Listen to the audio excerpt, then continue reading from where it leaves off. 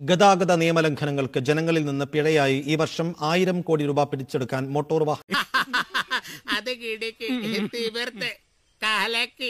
ജനങ്ങളെ പിഴിയാനുള്ള യന്ത്രമാക്കി മോട്ടോർ വാഹന വകുപ്പിനെ മാറ്റുകയാണ് സർക്കാർ. ഈ സാമ്പത്തിക വർഷത്തേക്കും ഉയർന്ന ടാർഗറ്റ് നിശ്ചയിച്ച് നൽകി.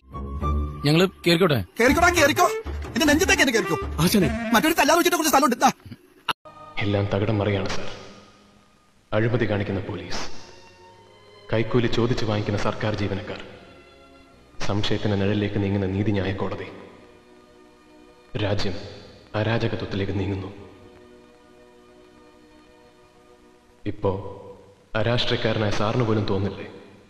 ഞങ്ങൾ ഉണ്ടാക്കിയ പോലൊരു മുന്നേറ്റം ഈ നാടിന് ആവശ്യമായിരുന്നു എന്ന്.